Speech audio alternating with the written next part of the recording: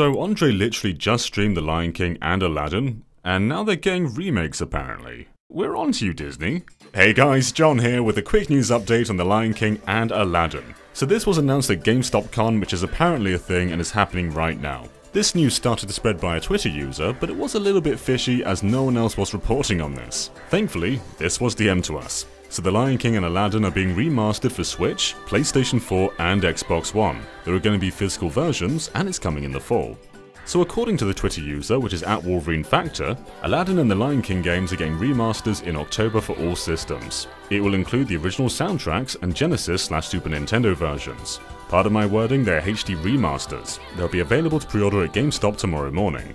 So it sounds like this is a compilation of the Super Nintendo and Genesis versions of both games. And keep in mind, these versions pretty much have no similarities. They're essentially different games. Now as for what remaster means, that's still a bit unclear. Are we just getting a Disney Afternoon Collection kind of thing, or is it more like DuckTales Remastered? Are they rebuilding these entire games from scratch? There could even be new versions in addition to the Super Nintendo and Genesis versions. We're not even sure how the rights work with this, given Aladdin on the Super Nintendo was made by Capcom, so maybe Capcom's involved, or their say doesn't mean anything.